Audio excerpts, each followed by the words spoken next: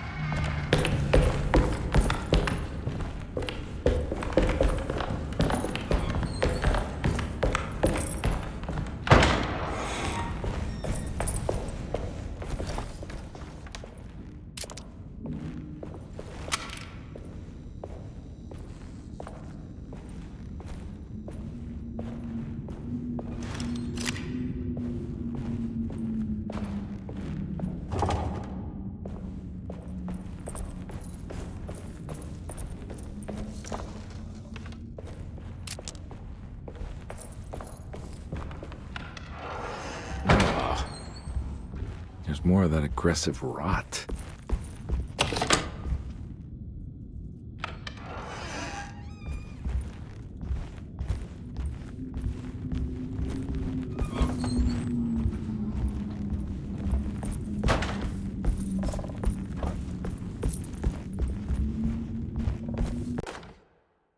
On the commonplace of evil, there lies virtue and stark irreverence, careless thoughts of luminous indifference. But blame not the beast we once were, which science so often wished to refer. Not the wicked full of sin, it is you who stand and grin. All our good intentions aside, whereupon we build our pride. Sunless solitude, follow not this corrupting light. Prophets of confidence always crashes out of sight. Hear me, for we all bear this mark. Thus we must remain alone in the dark.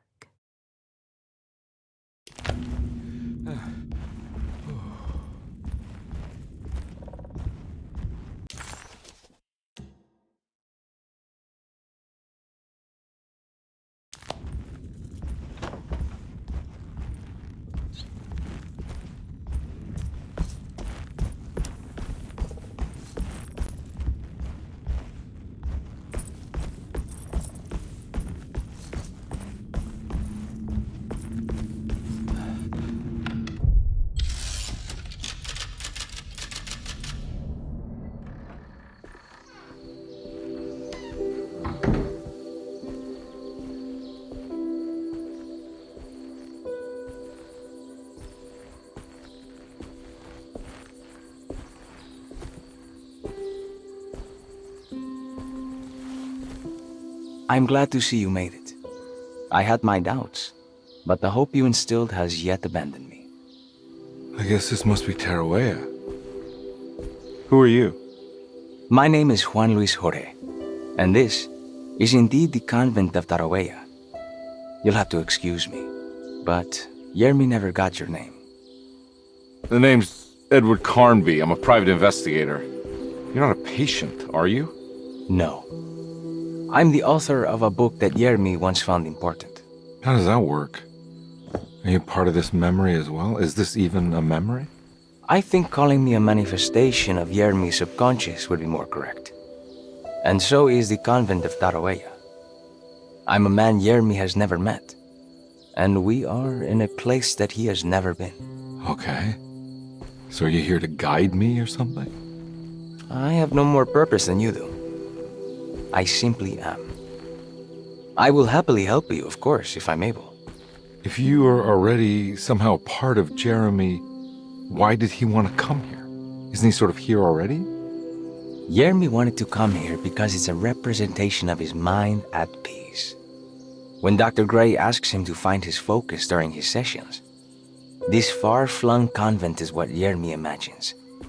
He is under the impression that if he could physically come here, he would reach a perfect equanimity, a spiritual apotheosis. You don't think it would work? Jeremy subconsciously knows it's just wishful thinking. He can't come here. Despite the pathways opened by the dark man between Derceto and Jeremy's psyche, it's simply not possible. But I'm here. Indeed. It's a shame it's just another place for you, Detective. Otherwise, you could have become a Buddha. Always a bridesmaid, never a blushing bride. Am I right? Ah, yes, I suppose so. You'll have to chase enlightenment elsewhere. so what's the next best thing? What can I do here? Mm, you should seek out the convent library and try to find the truth about Yermi's relationship with the Dark Man. It's the sort of knowledge he represses and is unable to reflect on. Will it tell me how to break the pact? Perhaps. At least you'll have something to confront Yermi with. Wait, why can't you just tell me? I don't know such things. You'd be better off consulting the texts of Dr. Freud if you want such answers. No thanks, I hate shrinks. There is another thing you should know about the library. He is here as well. The Dark Man has been working his way through the text for a long, long time. He's here? How am I supposed to get past him? Be careful, Detective. Oh, jeez, just perfect.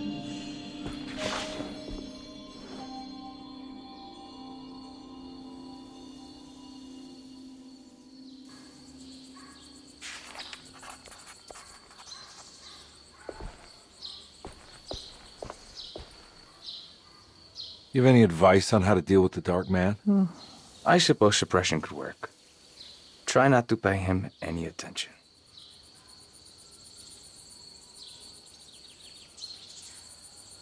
I know you said Jeremy's never been here, but does this place exist in real life?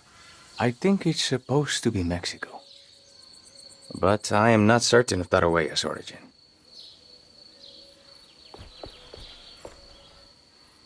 Well, good to meet you, Juan. I'm going in. May the gods be with you, Edward de Vilban.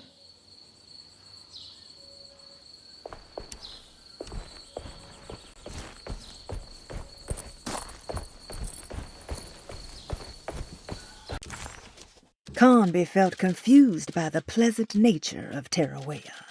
It was somehow uncomfortable to him. Juan, the sweater-wearing Buddha, wasn't helping either. According to Carnby, people just weren't meant to be this nice and genuine. Best to hurry off to the library, he thought, and see if he could find information about Jeremy's relationship with the Dark Man.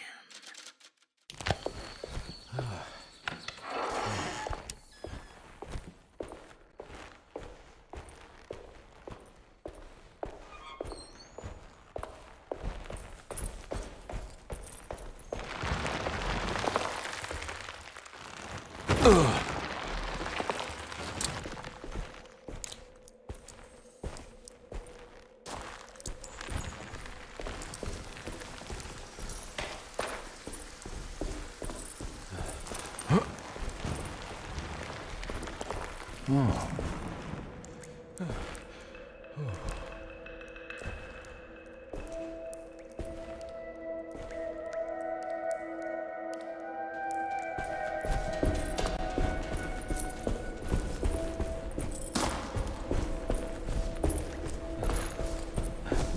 something missing.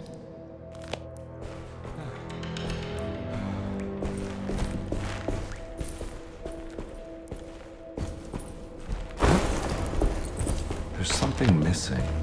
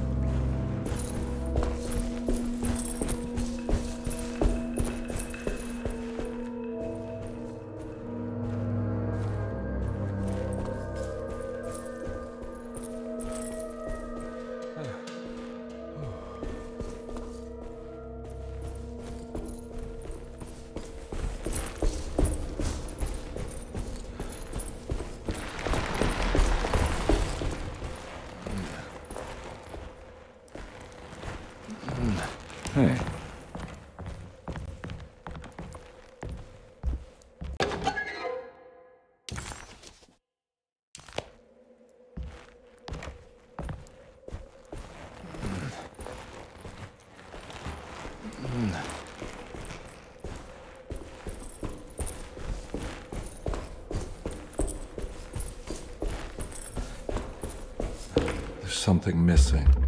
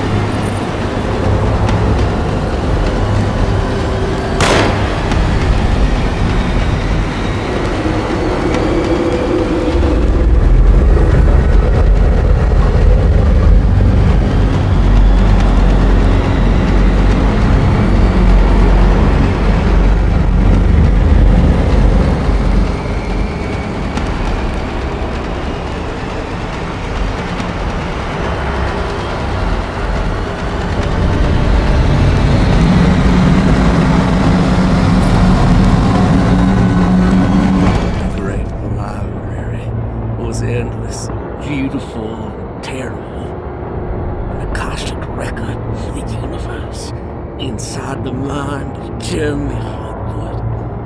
Now a story forced upon him, told by a maniacal liar. An evil conjured by science and secrecy. I will suspend a rule and lock away the foundation of his character. Its key will be left to the librarian, the only thing invisible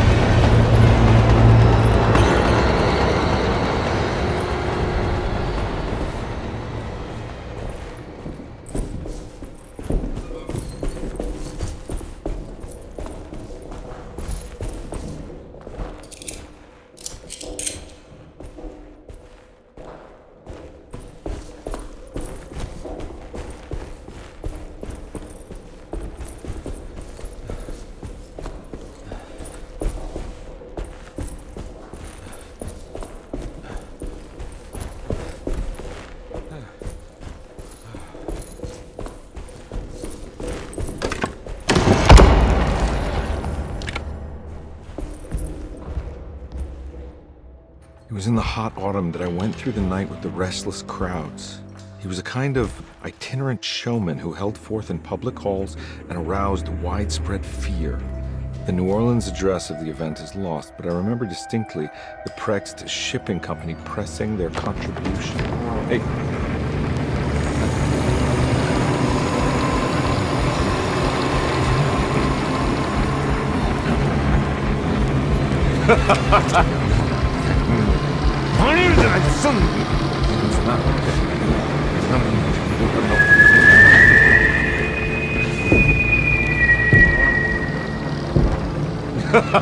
Detective!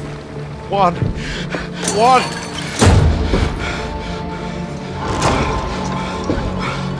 I hope you found what you were looking for. I fear there is no going back.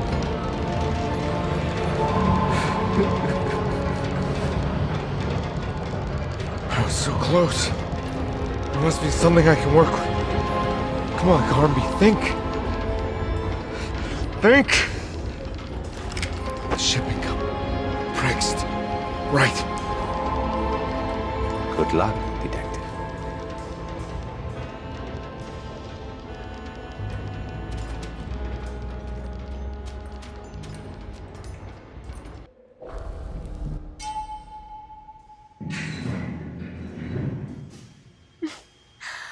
thank God you're here, Detective. Sitting all alone in a place like this? I'd never live it down if the papers got wind of it. Hey. Ruth, right? Oh, Don't pretend you don't know. I'm sure you have a whole file on me by now, Detective. I suppose we weren't formally introduced. I'm Ruth Talon. Miss Ruth Talon, in case you're wondering. Edward Carnby. Enchanté. You sure? I had too many already. Nice. It's good. I know. I have great taste, Detective. I heard you're trying to break Jeremy's promise to the Dark Man. Yeah. Do you know anything about that kind of stuff? No, but it makes you wonder. If he made a promise, can't he simply stand by his words?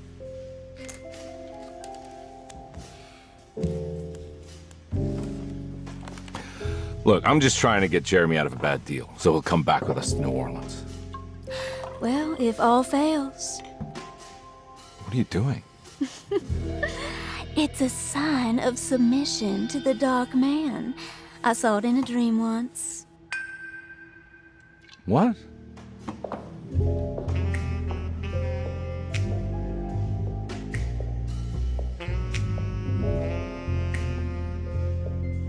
You don't know the Prext Shipping Company by any chance? I do. They made big money during the war. Their waterfront office is just over there. How did you do that? Do what, Detective? Bon chance. Hey, have you seen Emily Hartwood anywhere? Are you trying to make me jealous, Detective? No, I haven't seen your doll anywhere.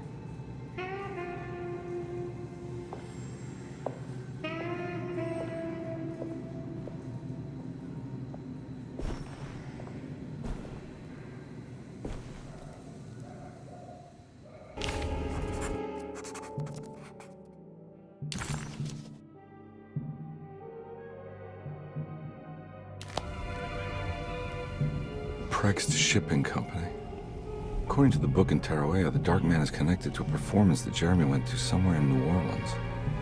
I'm sure I can find the address inside.